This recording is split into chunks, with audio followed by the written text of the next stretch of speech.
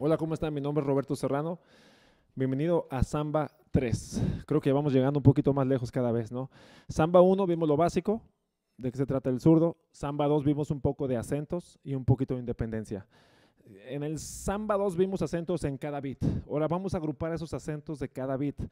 Los estuvimos separando. Acentábamos el 1, varias vueltas, el 2, varias vueltas, el 3, varias vueltas y el 4, ¿no? Vamos a acentuar ahora como que dice e, en pares. ¿Por qué no agrupar 1 y 2? Ok, entonces sería 1, 2, 3, 4. 1, 2, 3, 4.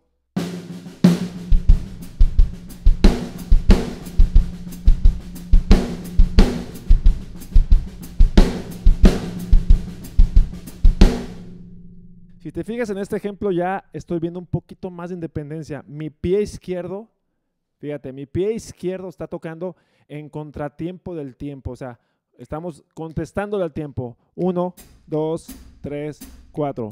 Uno, dos, tres, cuatro.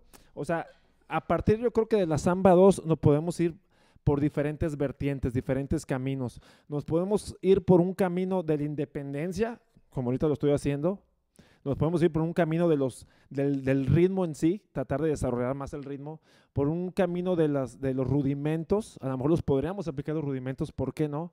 Y me gustaría ver todos esos caminos en las próximas clases. No sé si, si, si quieres que nos vayamos por ahí o no, eh, yo pienso que hay que tomar todos esos aspectos, el, el aspecto de los redobles, el aspecto de, lo, la técnica, el aspecto de los rudimentos. Entonces te repito, si te fijaste ahorita, mi samba la estoy tocando con el hi-hat en contratiempo. O sea, le va contestando el tiempo. Uno, dos, tres, cuatro.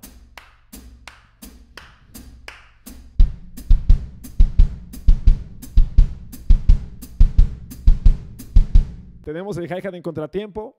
El bombo, nuestro patrón del bombo sigue igual. Y la tarola estábamos acentuando en pares. Primero y segundo beat. Uno, dos, tres, cuatro. Uno, dos, tres, cuatro.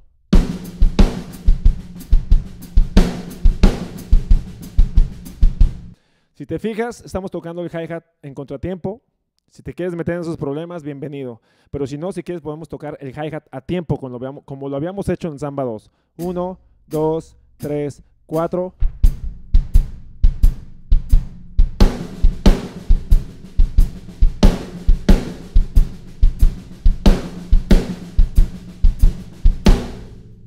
Si crees que es muy difícil tocar el hi-hat a tiempo. Entonces, olvídate poquito del hi-hat, ¿ok? Vamos olvidando un poquito de él y continuamos con puro bombo y los acentos de la tarola. ¿Qué te parece? ¿Ok? Entonces, vamos a continuar con el bombo. Acentué el primer beat y el segundo beat. Ahora, ¿qué pasa si acentúo el segundo y el tercero? Fíjate cómo se va a sentir diferente la cadencia de la samba, ¿no? Uno, dos, tres, cuatro. Uno, dos, tres, cuatro. Uno,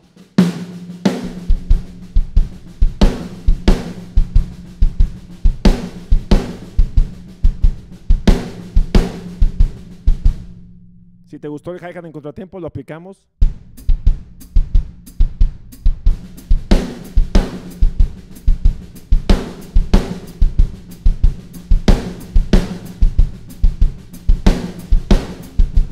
Ok, ahora vamos a acentuar. ¿Qué sigue? Ya acentuamos 1 y 2, ya acentuamos 2 y 3. Ahora vamos con los últimos dos del compás. Viene siendo el beat 3 y el beat 4. 1, 2, 3, 4. 1, 2, 3, 4.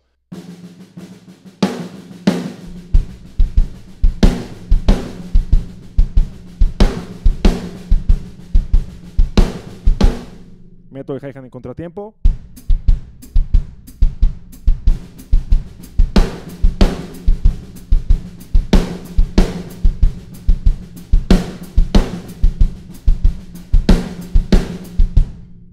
Entonces, si tú ya tienes ya un control de tus manos, y tú ya tienes un control de los acentos, puedes estarlo variando como quieras. Como te comentaba en, la samba número 2, estamos acentuando los acentos más fáciles. Yo pienso que los más fáciles son los de la mano derecha. Como que estamos acostumbrados a que la derecha es la que tiene más fuerza, más control. Claro, si eres derecho, si eres zurdo, si tocas con la mano izquierda de preferencia y si haces todas tus cosas eh, cotidianas con la mano izquierda, posiblemente sea más fuerte para ti, más controlable la mano izquierda. Pero normalmente pues casi todos somos derechos. En mi caso también soy, soy derecho. Hay que procurar, claro, tratar de que la mano izquierda se despierte más.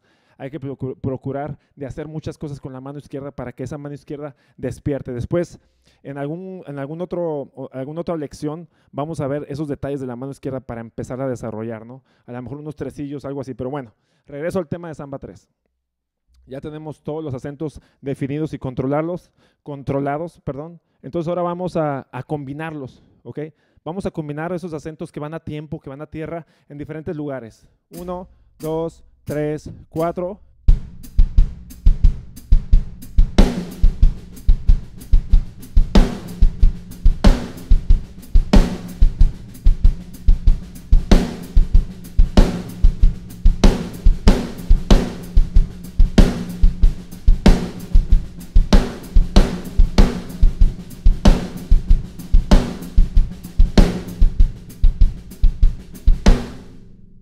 Y si te fijas, qué maravilla de tener ese control de los acentos, que nos permite crear un poco de, melodía, si lo quieres llamar así.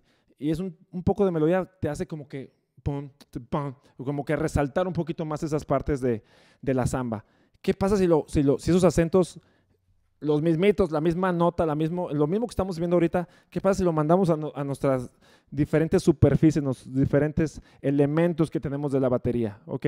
En este caso estamos incluyendo a más percusionistas que habíamos comentado que forman ese ensamble de percusionistas, diferentes sonidos, diferentes tonos. Puedes crear melodías, ¿no? Por ejemplo, vamos a ver esto. Uno, dos, tres, cuatro.